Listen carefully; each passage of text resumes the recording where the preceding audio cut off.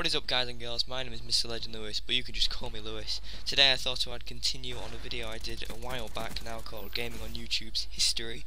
This is the second part, we'll probably be continuing for a while, well, probably as long as I am on YouTube. Um, the gameplay in the background is a game I got on Nuketown a while back.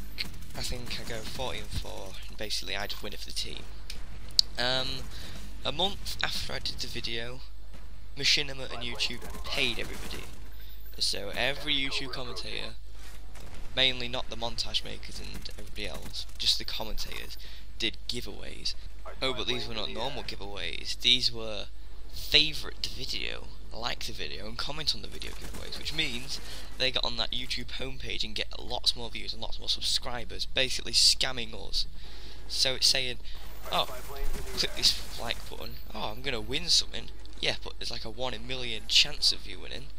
XJawz' video reached 1 million views, 100,000 comments. That's a 1 in 100,000 chance of you winning something, me winning something.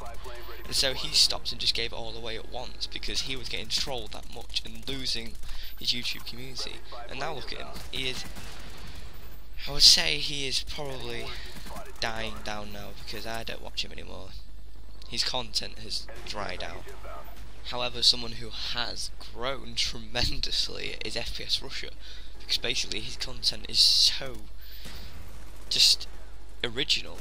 How many people? There's no no one else on YouTube that does what he does.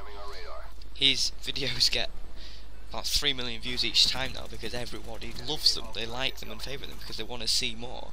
I mean, you don't want to see the dual wielding M16s in real life. He prepper sprayed himself in the eyes. No one does that, and I think he's probably the best YouTuber at the moment, along with Ray William Johnson. Yes, very deserving. So as people's channels were rising, others were falling, however, because hackers had come into the community quite strong as well. Zeke was kind of like a joint owner of Hazard Cinema and did some great montages. You probably remember him for Flux series, very good series, and he's probably the best editor ever. But, however, he got hacked, and He's still suffering from that hack. He's had to create a new channel, and now the hackers hacked Predator Cinema recently. They had 38k or 36k, I can't remember. A lot of subscribers to lose. And what um, the hackers can do is put this statement on whenever you type in Predator Cinema now and you click on a link to the channel it says YouTube account Predator Cinema has been terminated because we have received multiple third-party notifications of copyright infringement from claimants including by Zeke, by Zeke, by Zeke.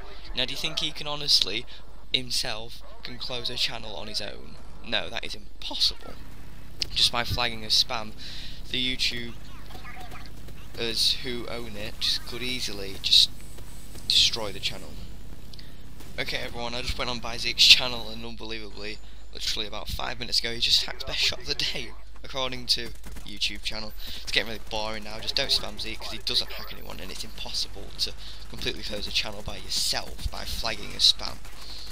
So this has been the second part of the history of gaming on YouTube.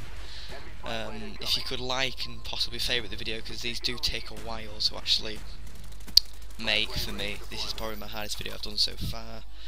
Um, so did you like the game? What did you think? What's your favourite commentator?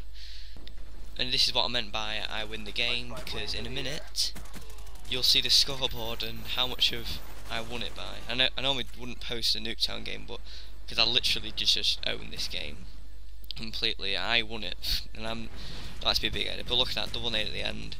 Won it by a considerable amount, and look at that scoreboard. Thank you for watching, and goodbye.